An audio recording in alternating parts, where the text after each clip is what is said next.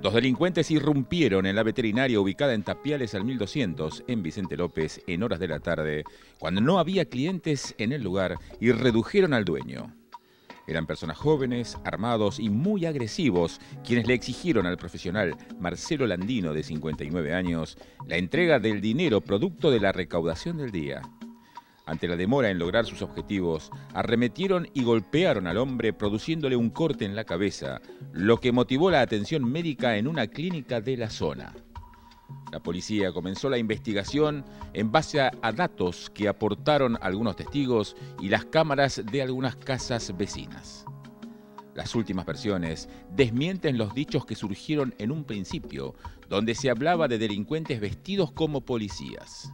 Eran dos personas con ropas oscuras, pero nada que ver con policías, aseguraron fuentes autorizadas. Aparentemente otro cómplice los esperaba en un auto con el que escaparon del lugar.